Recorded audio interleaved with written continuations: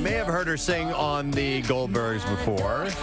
And fantastic voice, but I'm, I'm loving this. Please welcome to our studio, Hayley Orrantia. Yeah. Thank you so much. Morning, Hayley. Hi. Hey, so yeah, we've you know we've seen you uh, do some singing on on the Goldbergs, but bit. this is you doing the real thing, and you write this music as well, don't you? I do. It's really funny because now that I've been going on this tour, I've had a lot of people f- who are fans of the show come out, and they're like, "I thought you were going to be doing a lot of '80s covers." Like, you know what? I can do other things. Well, I was surprised to read because I thought, oh, this is kind of cool. I guess uh, this this you know when the show first came on, I guess this actor actress has some aspirations of mm-hmm. singing, and then only to do research on you and, and singing was it, music was your deal, and and acting has seemed to have sort of been a, a conduit towards getting your music out because.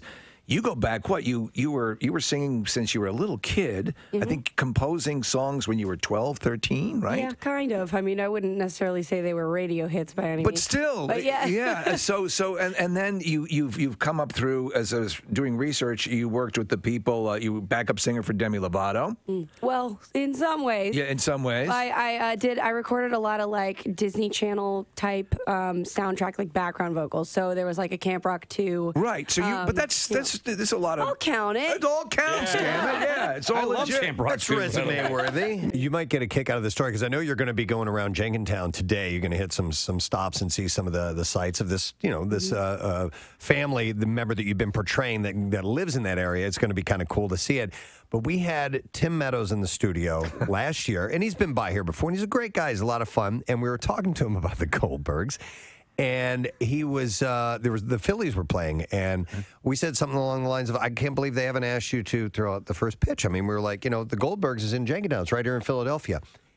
He didn't know That it that the show took place in this area. He had no. He had no, No idea. idea. You know, Tim comes on when he needs to come on. He's not there all the time. But now that they're doing, I don't know if y'all know, they're doing a spin-off in the 90s. He better know now. Yeah, everyone is really, really sharp, and so that's got to be a great atmosphere to uh, to uh, you know explore your comedic side. And then with Adam and I assume everybody else, uh, it's a very nurturing thing. Um, it- what I really love is that you. You, you're making references to pop culture that predates you, and yet you really you really come out as very enthusiastic about it. And, uh, and one episode in particular struck home here. Preston is a massive Rush fan. Yep. Uh, yes. Yeah, It was so cool when you guys did that, I that loved episode. doing that episode. Did you really? Because I we are, I had a family friend of ours who was obsessed with Rush, like Uh-huh. had it tattooed on his leg, obsessed, right? and I like was familiar with it, but I didn't, I couldn't name a single song until we were doing this episode. And me and AJ, who plays Lainey, um, and uh, the girl who plays Carla, we all kind of got together and we did this song. And I'm like, wait a minute, I think I like Rush.